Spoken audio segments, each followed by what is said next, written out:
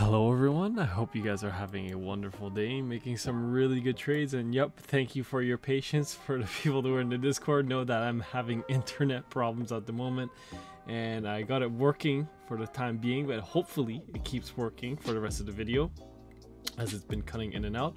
But yeah, let's just get into it. Right now we can see that Bitcoin had another choppy day coming coming up and down and you know not really moving too much. But right now we could see that we just printed our new daily candle and right now we got a 19, a minus 5 and a red X. So we might even see some possible downside coming into the weekend. And as we are pretty deep in that red money flow and also a red dot confirming oh I guess on yesterday's candle now with on market cipher B and on market cipher A. So things are looking quite bad for Bitcoin. But again, I am in some longs right now and I still expect some upside. I know a lot of people are very bearish and they're saying goodbye 29k, here we come 20k, right? All these all these things, but you know, we got through the week and we had the economics numbers come out and we saw that unemployment uh, rose by a little bit by uh, 0.1% or basically 10 basis point. And we had the non-farm payroll change which increased significantly more. So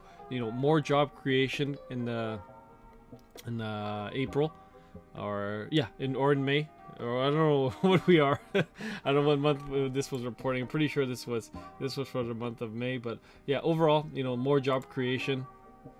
Now this signals that the that the government you know it's giving them the green light for more aggressive rate hikes, and that's why the market sold off as they they see they now see that the Fed is going to probably increase rate hikes even more, and now they're in, in especially in Canada they're even talking about another 0.75 percent rate uh, rate increase uh, now that the prime rate has already been increased from 2.45 percent all the way to 3.7 they're going to increase it again some more so you can expect mortgage rates to increase even more so things are going to get bad real soon, real fast. And, you know, this could be potentially signaling for a Bitcoin crash coming. Again, you know, there are some bearish, a lot of bearish signals, but, you know, the charts are telling me like right now we got some big buy orders on bookmap. We can see that another two big another 2000 btcs being bought at 29500 which is a pretty substantial order. And i think it's the same whale on binance that keeps buying it up. And let's take a look at the hash ribbon something i actually really wanted to talk about today because we actually can see that we are getting very very close to a capitulation cross. Now let me remind you you know we have crossed before right here back during that bull run and we got that capitulation cross. But you know what? From those levels you know we did go down a little bit like 7% I think. And then ultimately we rallied up 18% after right? Now let's take a look at where we are at right now. You know we are you know in the big downtrend at the moment kind of like where we were at right here a big downtrend. And then we got a capitulation cross. And then we rallied. We had our big downtrend. We've been chopping sideways right now. But look where we are at on the charts right if we do come down, right? If we do come down from these levels right here, it would be around 7 to 8%, right? Maybe we dump down all the way here, which is around 26,900 around this previous low. And then maybe we get a bounce back up, right? Do we get a bounce back up or sorry, a reversal from that, from there? So a bounce back up an 18% move would bring us around 35,000 if I'm not mistaken there we go 35,000 which is one of our targets for Bitcoin but you know you never know what's going to happen in the markets. maybe some people do. Maybe they got the, the recipe down to a, to a to a science, but you know, you never know. You never know and you just gotta place your bets and if you place your correct bets then you know you're gonna get paid out. And right now we can see that ethereum is actually tagging this level again a lot 1770 which is a very very big support at the moment. But if this level breaks you're gonna be wanting to take out take a look at some lower levels like 1400 so 1400 would be my next target right here. I'll probably maybe add to my long depending on what bitcoin does. You can see a lot of patterns right now on some you know some smaller altcoins. You can see that ADA is actually looking eh, pretty bullish in my opinion as we can see right here potentially forming a falling wedge which is a bullish pattern. So we can see right here if we if ADA starts to maybe tag this level once again and breaks out to the upside you might even see a, a, a touchback once again at 69 cents. Maybe you'll form a double top. Maybe you'll pierce this level and go even a little bit higher right? You never know. But all you got to do is just look at the charts and look what the charts are telling you right now. Bitcoin is still in this range. We are still chopping sideways, right? I added to my position today around 29,500.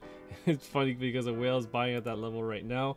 I think he bought 922 Bitcoins right now, and he's adding some more buy orders at 29,400, another 200 Bitcoin there. Still has 1,500 Bitcoins to be filled. But let's just see what happens, right? If the price does keep dumping, maybe we are in a bullish pattern right here as well for Bitcoin. Maybe it's a excuse me, we'll have to sneeze. I'm trying to hold it in. maybe we're we are going to chop sideways right right here again, and then come down to this level, touch it one more time, and then start to go back up. Right? The market doesn't doesn't want you to know the direction. Right? They're going to push you to where you know the, these big psychological levels where you think it's gonna it's gonna it's gonna finally break down and you know potentially we, we do get a big wick down and then we start to reverse back up and you you know we caught that move completely wrong right so obviously a little bit of a contrarian view, view right there, but you know, that's what the market does to you. The algorithms, you know, you buy in and then it starts to sell off, right? Again, 30,770 would have been a good point to short there, but I didn't enter my short. I'm just holding my long. I still I still think we are going to tag 33,000, but let's see what the markets tell us uh, next week. Now we did get across, like I said, all that big news. Next next week Monday, we don't have anything happening. Nothing big in coming until Friday next week, which is the CPI data for you for the US. Again, if the CPI data starts to decrease, you know, maybe the market's gonna be a little bit bullish. But if it starts to increase as they are increasing the rates, then that would be extremely bearish, in my opinion, as you know, the Fed's rate hikes are not effective, which means they're gonna have to do even more rate hikes, which is even worse for the market. So you're gonna see a massive sell-off, in my opinion, if that happens. But we'll see what happens. Let's take a look at a few more charts right here. Again, if Bitcoin does start, keep start to break down what's to these levels, you got that 200 weekly at 22,500 and then 16,400 right there is your 300 weekly. And after that, your 400 weekly, which is at 12,500. And then your I think this is the 500 weekly as well. I'm not too sure. Yeah, the 500 weekly is all, all the way down here at $10,000. But let's see what happens. Uh, we're about to close out the week in a couple of days. Let's take a look at the, how the weekly is looking right now. On Market Cipher, you can see, you know, you, you're getting pretty close, in my opinion, to a potential bottom. But, you know, you could have a potential couple more weeks before you actually see a green dot on this right here. maybe by the time we do get that green dot, maybe the price will be already, you know, at 30,000, maybe even higher. But well, we'll see. Again, today you can see that the oil price actually pushing up. We are in a short on oil. And again, we only added a small percentage of our portfolio. And if oil keeps pushing up, then we are going to keep adding to our short position. And eventually oil will sell off because, you know, as we head into elections, Joe Biden's poll numbers are absolutely horrendous. And, you know, he wants to get those votes. So he's got to push that price of oil down. He's going to convince the Saudis to push oil down. And same thing for natural gas. We are still not short on natural gas. Natural gas is actually getting rejected at this level right here, this major trend line around $8.60 or 68 cents.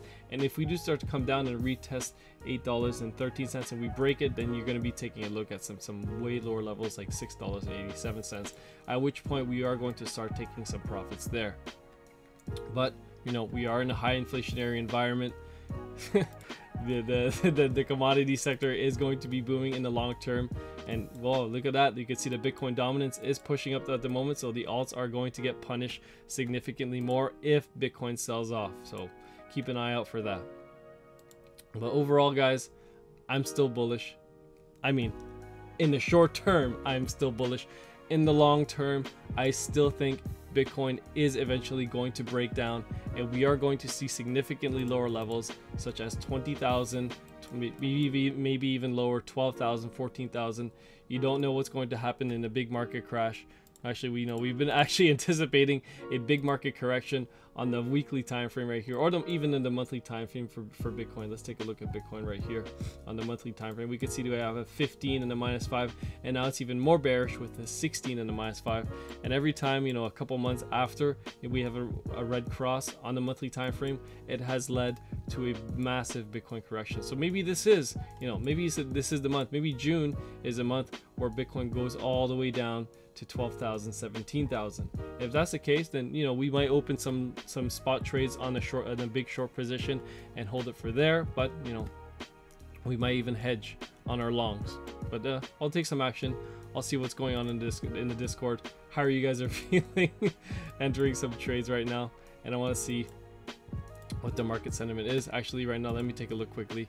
I haven't checked yet. Let's take a look at the fear and greed index. And I believe it's a 14 today. So a little bit more bullish because we had a bit of a bounce day. But, you know, overall, it's to be, uh, I, I think we got a bounce the other day. But overall, we are going to move down. Actually, let's take a look at Infinity's chart. I'll just draw it up right now because he is looking at this bull, this bearish pattern right here, which is, where is it? you know we'll get on we'll get on a, some little bit larger time frames he is looking at a potential bearish flag forming. Again it's not the nicest one but you know it's it could be potentially valid as we can see right here. Uh, I think it was like this I believe. It depends on which exchange you're on. Let me just flip over to the discord quickly. I just make sure I'm drawing this correctly. And scroll up. Yeah it's something something like that. It depends on which exchange you're on. Maybe he's looking at the daily time frame. I'm not too sure. I'm, I'm doing this live at the moment. But yeah, if Bitcoin does break this level and it is a bearish flag, then you might see Bitcoin start to come down to significantly lower levels. But something that's pretty bullish in my opinion that you guys might not see is right here. When Bitcoin was in this channel right here, in a in a falling in a falling channel like this, a descending one, we had a massive breakout towards the upside and then we had a bearish pattern right here when everyone was so bullish right? We had a huge breakdown to the towards the downside because it's naturally is a bear flag and this one right here.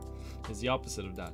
Now you can see that on some of the altcoins right here we'll take a look at avax have some you know some bullish patterns as you can see right here. You have some falling channels like so.